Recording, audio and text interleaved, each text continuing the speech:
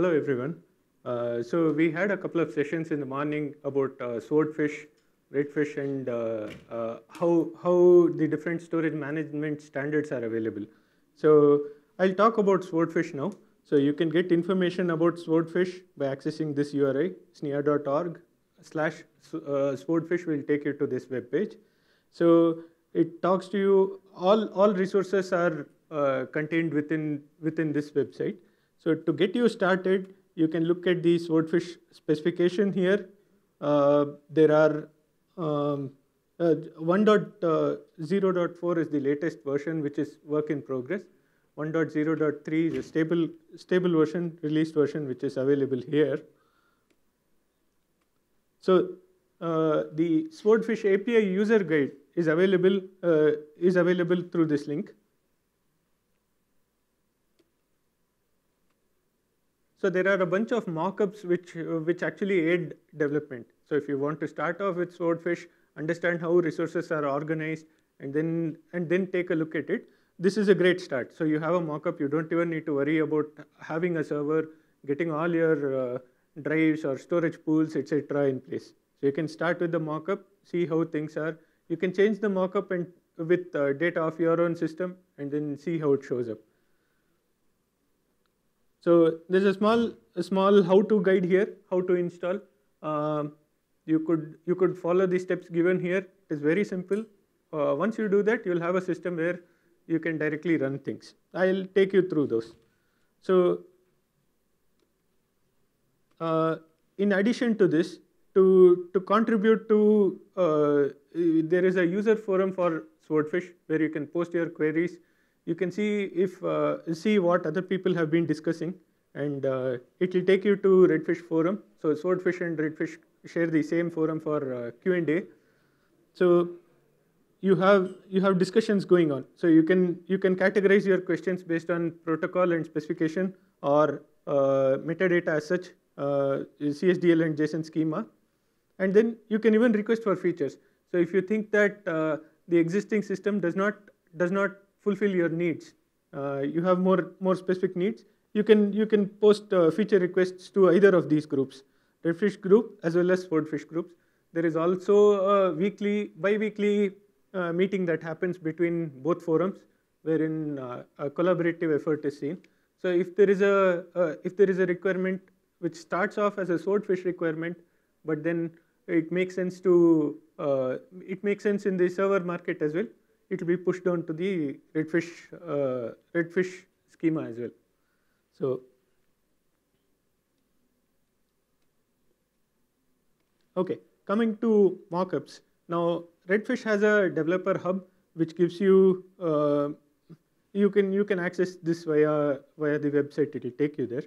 Uh, it gives you various resources which we spoke about in the morning. So for those of you who are new, uh, there are some major entities which are modeled by Redfish, like say systems, chassis, managers, tasks, session, account, and uh, event. Uh, each of these resources can be accessed the, now currently what you're seeing is the main, uh, main service page or the service root uh, to your Redfish server. So you, you have all of these modeled. Uh, clicking on any of these will take you to the respective resources. This is the Redfish part of the model. Now, what you can do is you can download the model as I, as I have done. You can download the mockups and you can you would probably see a bunch of folders here and index. Each of these correspond to the top level top level resources.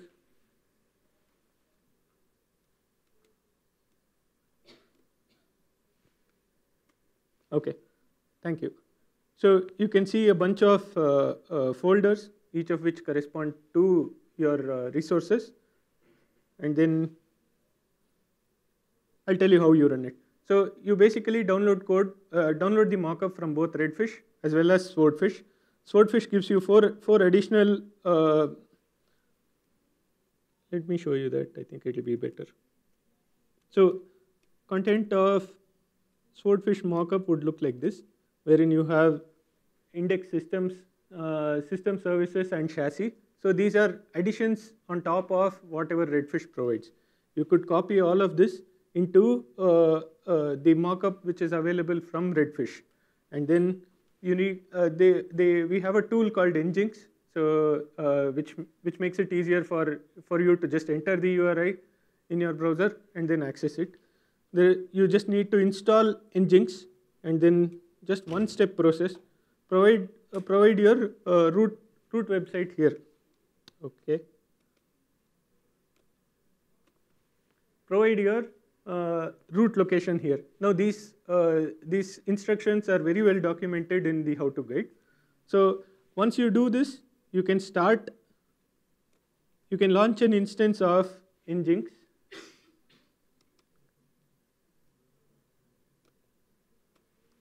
You can launch an instance of Nginx. So it basically uh, relays, relays any calls you may, any uh, requests you make to localhost onto Nginx on port 80. So end effect is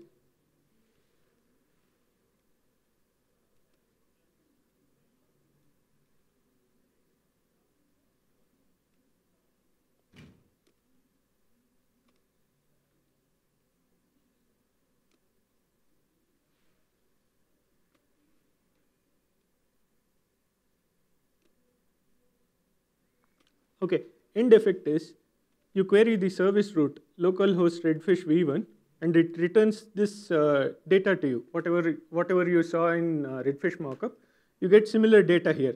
Now these are your top level resources. Whatever you see here, so uh, uh the format is also very intuitive. We had a gentleman today in the morning asking about OData format. So I'll go ahead and actually explain a little about uh, OData as well here. So so these are, these are your OData extensions. This is an OData extension. Uh, these are metadata. Anything you see as at OData represents metadata within this particular page. And these are all your name, name value pairs. So, uh, sorry, key value pairs of various attributes which categorize your system. Now, uh, resources in JSON are of different types. You can have a simple resource or you can have a composite object. Now this points to an object. This is a simple key value pair. The, the, the other, you will also see that uh, there is a section called links. Links refers to anything which is, which is like an association. In, in CIM terms, links is equal to association. So one object can, is related to the other resource. So we'll, we'll dwell into one of these. So now chassis is used to model any, any physical entity in your, in your server. So uh, there are two instances of members gives you the number of uh, chassis elements which are present in your system. Uh, there are two of them. One is called 1U, the other one is storage chassis 1. And each of them have the, okay, so I can talk about OData context. You will see that there are three, three fields here, OData context, OData ID, and OData copyright. Now copyright is just a, uh, the DMTF and SNIA copyright based on who, who has made, uh, made that particular file. Now ID is the unique ID which is provided to, uh, uh to the resource. The context, now the context is, uh, is very, is an, inter is an interesting thing. Now context defines that this is a chassis collection. Whatever, whatever is provided here, whatever I'm accessing is a chassis collection. Now, this translates to uh, one entry in your schema, in your overall schema. So, we'll get a clear distinction once we access some other resource.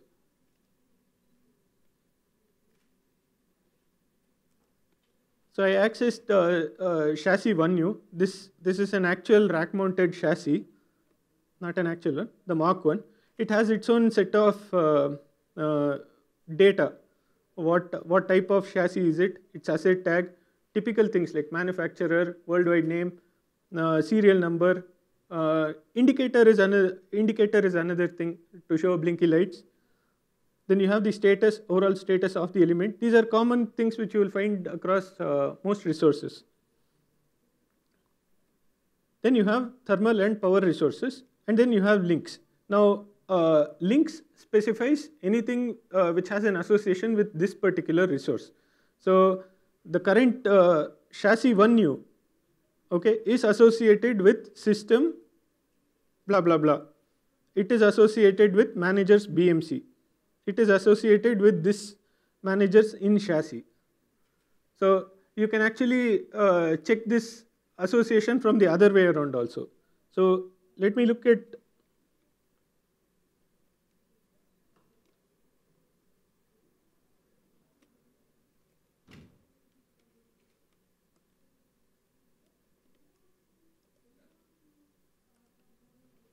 So this is the computer system uh, representation of a simple computer system.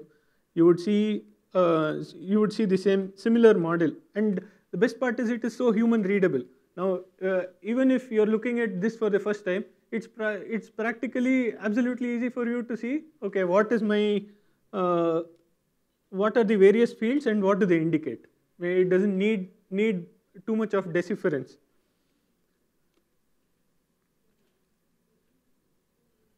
So in the links, you will see that uh, there is an element called chassis, and uh, you will see the URI which I accessed earlier. So this establishes a two-way connection between chassis 1U and uh, the current system, current system and chassis 1U. It's a two-way association. You can have more as well. So you can you can note the uh, context here. The context here specifies what type of resource it is. Now, where is this useful? Depending on the, on the context, your clients can actually uh, read and interpret the response in a, in a neat way. When you get a context as computer system, you know you are receiving a computer system. Otherwise, it's just JSON data, right? It's just key value pairs.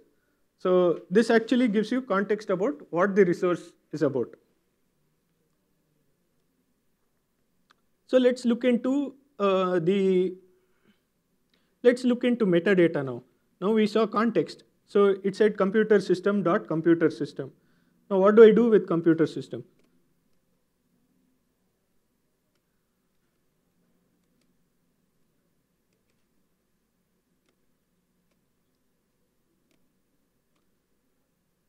So you have the schema also, which is which is uh, uh, which you can download from the website. There are two formats of the schema. One is a CDSL schema. Uh, it follows XML format. The other one is JSON schema, uh, which is derived out of derived out and converted from the CDSL schema. Now, uh, if you access, if you look at CDSL schema, what we saw was computer system, right?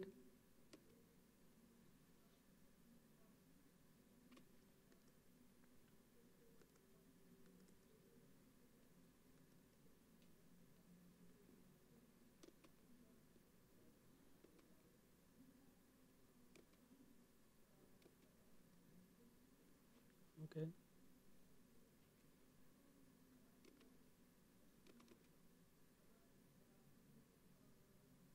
I'll take another example. So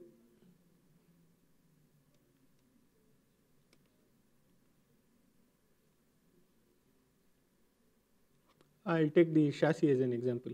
So if you look at chassis here, uh,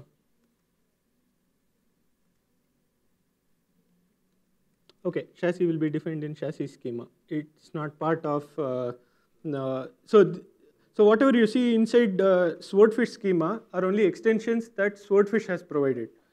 For one such example is your storage pool.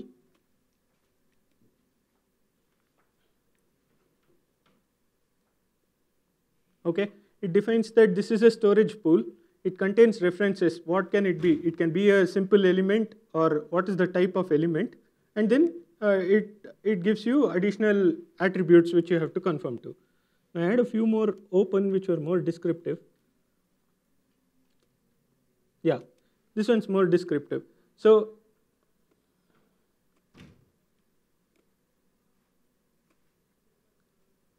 So you see, it might look overwhelming in the beginning. It's not. Trust me, it is very easy to do it. So you have fields called properties, which define all the, all the properties that you need to include, which characterize this resource. You'll see the same thing in the mockup. So whatever you see here is what you see in the mockup as well. And this is what you need to extend if you, if you want to provide your own uh, custom, custom fields. So you have the ID, you have description, name, identifier, uh, the block size in bytes. Now the naming convention used here is very intuitive. They say blocks, they, did, they just don't stop at block size. They say block size in bytes. The units are also specified along with, along with the key, which makes interpretation very easy. So the value can just be a number and you know what that value represents.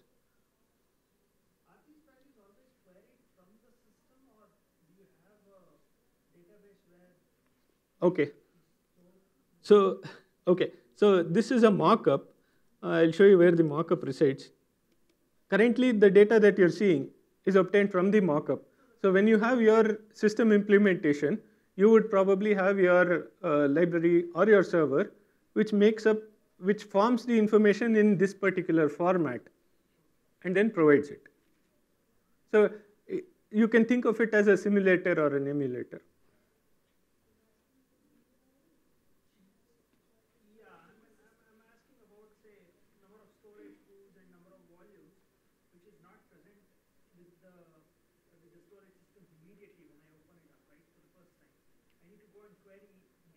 Huh, okay. So,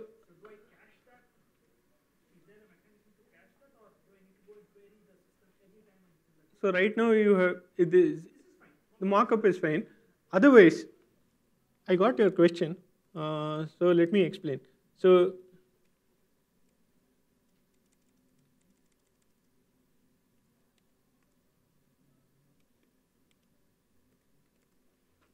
okay. So let me rephrase your question. So you have a resource URI. Do you, do you get information about only that resource or do you expand drives and get information about drives also? Does that sum it up? Yeah. Okay. So, so there is a directive called uh, expand. So uh, you can provide further, further values here in the URI. So we have both uh, expand as well as filters available. So you can actually apply filters on this and get just class of service, not the entire data in your response. So your URI will be this. And then you will apply a filter for class of service and you will get only that. This is one part. Second part is you can use expand, in which case you won't get a, high, a link here. You will get the data of drive within that section. So it's one access.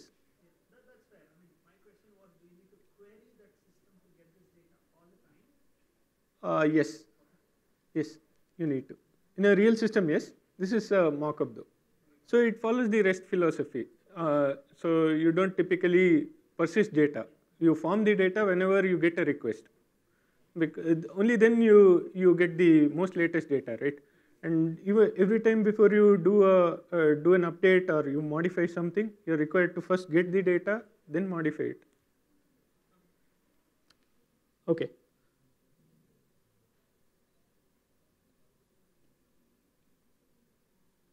So we saw, uh, we saw uh, different resources, uh, the way they are structured.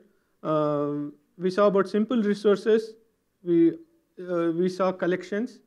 And then we also saw uh, links or associations between two different resources. Now, what else did I want to talk about? OEM. OEM is uh, another interesting tag. Now you will find OEM to be present in all your resources. OEM gives you the extensibility that the protocol provides you. So let's say uh, uh, disk drive has only 10 fields, but then your product has 50 fields. So where would you put the other 40 fields? Uh, you would have to put you would have to put it under OEM. So you can create create your own user tag for OEM, specify all those 40 in the uh, schema which we saw earlier. So extend the schema, provide values for that, and then you can put, put the values here. So you can, uh, and actions is another thing. We didn't see actions.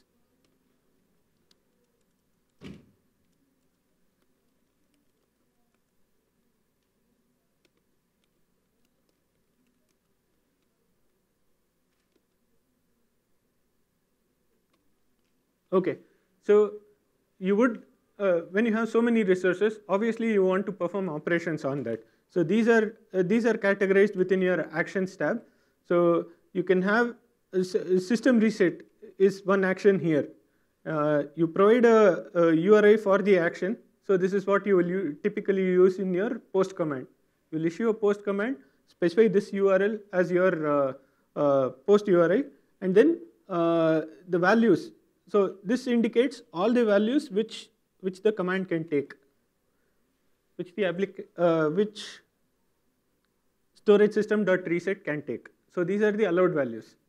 So the the beauty of it is that you can have clients which don't need need any uh, any inbuilt intelligence. They don't need to uh, track different resources differently. You can read the schema, you can populate them the way you want to. You can render them differently. Actions also, same thing. Whatever you get here are the only permitted actions. Nothing, nothing other than that. So your clients end up becoming thinner and thinner. So you can straight away get this, whatever values you see under allowable values, you can put it in your text boxes or drop down and then give the user, user that view.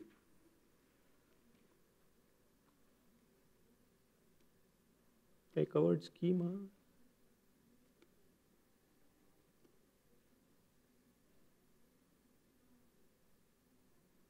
Yeah, I'm, I'm almost done with my presentation. Any questions?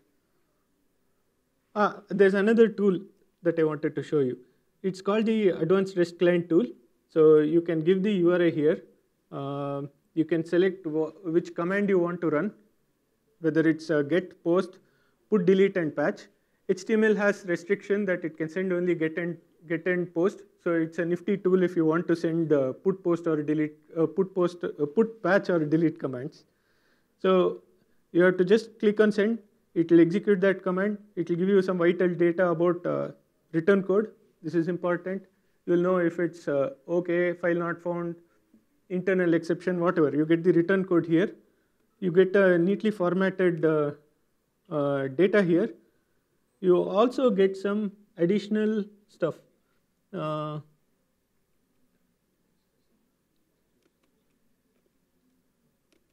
I'm looking for the headers.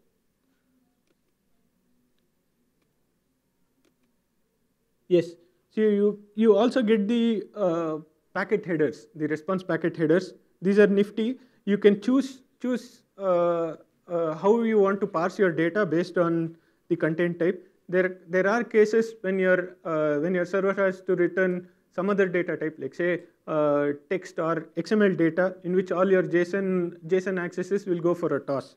So you can use your uh, content type and then operate upon it accordingly. This tool, uh, it's called uh, Advanced REST Client. Yeah, Advanced REST Client. Yeah, Advanced REST Client. It is very, very easy to use. Yes, it does. It, it, works for anything. It doesn't even have to be a REST any RESTful uh, thing. It will work. It doesn't have to be a Redfish or Swordfish implementation.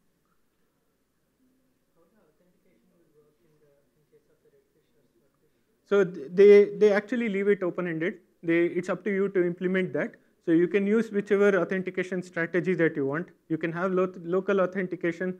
It can be as simple as uh, password equal to password without encryption. Or you can go full, full-fledged, uh, uh apply all your SHA or anything there.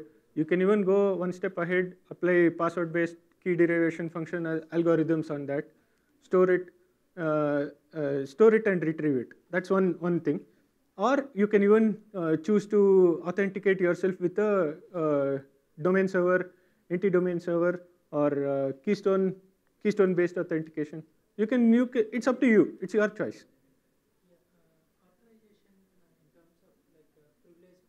Yeah. Okay. I'll I'll show show that.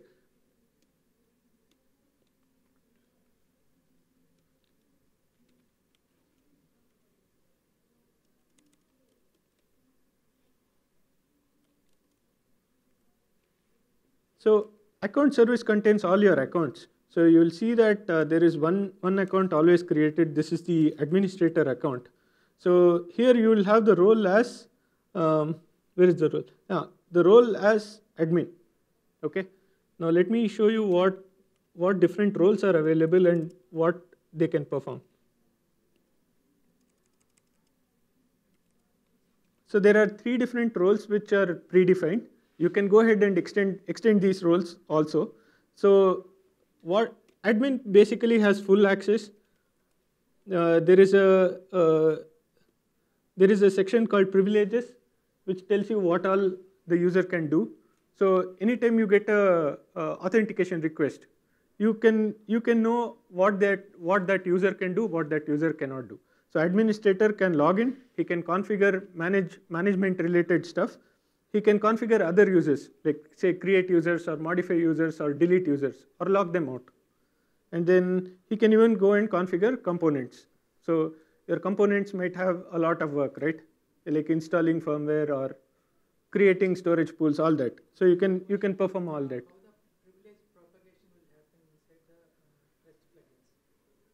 So your authentication request will typically have two fields, right?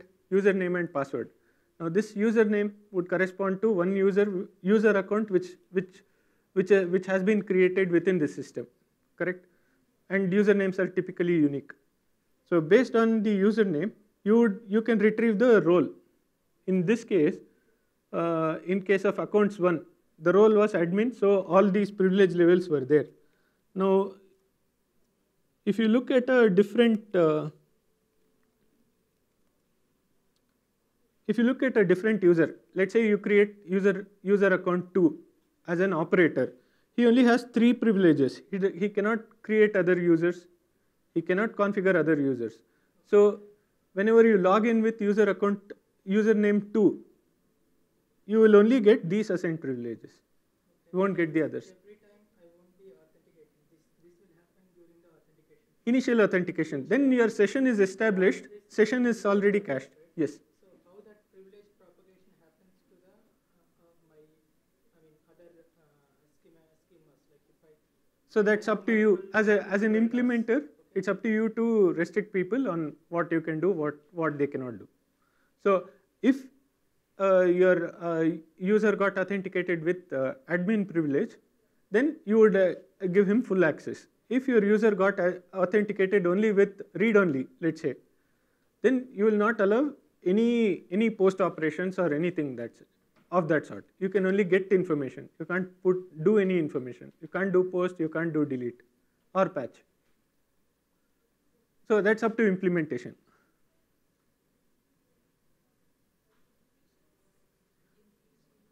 Yes. So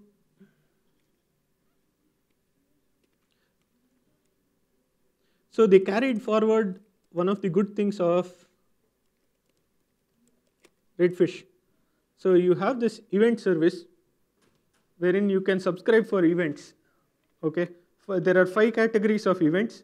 You can say state your resource status changed or your resource got updated. You added a new resource to it. User creation is a new uh, resource added will generate a resource added event. You can delete resources, like say you can delete a storage storage pool or a storage volume and you can get uh, you would pay, basically go through these subscriptions and whoever is subscribed for that category of events will be notified when that event happens.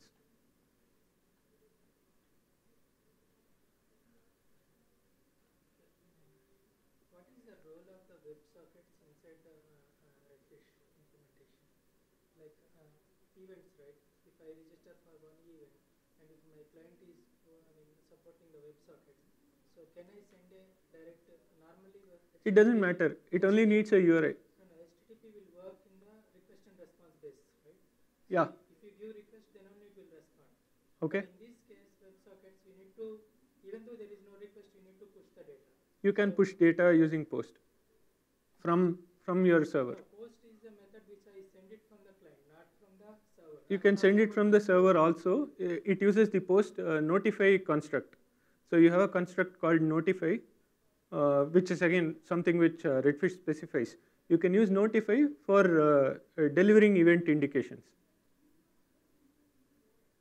So it's a, it's a push mechanism. It, it doesn't uh, follow your tradition, traditional mechanism of you post a request, you get a response, right? So here some, some event happens in the server at some time and then you notify it.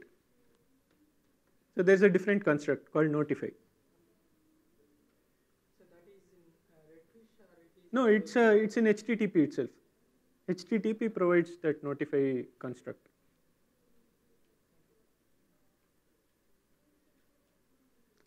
Any questions?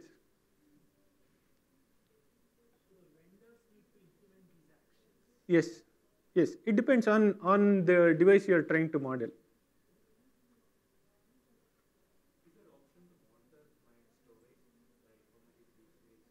Yes, glad you asked.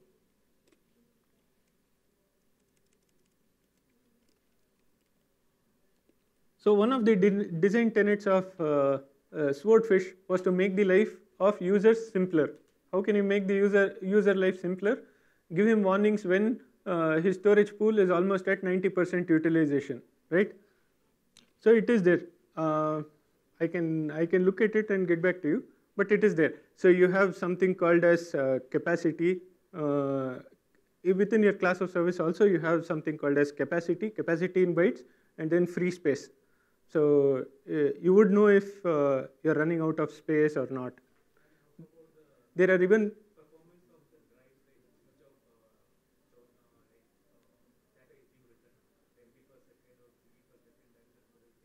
Okay, so this is where class of service comes in. So you can you can uh, decide on which class of service you need to support. Say you can have different things like gold, platinum, silver, and stuff like that. And for platinum, you could choose I need the highest throughput available and put those drives there. Uh, you're, if you're asking about continuous monitoring of uh, how, how much throughput is uh, going on every now and then, I'm not sure if it provides it. There are, there are metrics related to space coverage and space usage. Uh, I'm not sure if there is something on uh, the throughput calculation. Not sure. Okay.